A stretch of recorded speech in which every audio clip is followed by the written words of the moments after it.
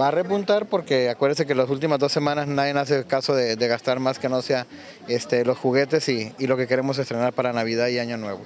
Ya seguro la segunda semana de enero va a repuntar esta venta. Ahorita va bien. Sí, así es. Bueno, vamos empezando.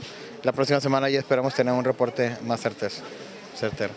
¿Qué porcentaje han vendido ya?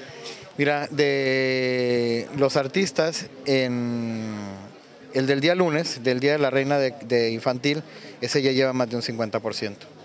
El- los otros dos, 35% más o menos. Los boletos gratuitos se van a empezar a, repartir la primera semana de febrero.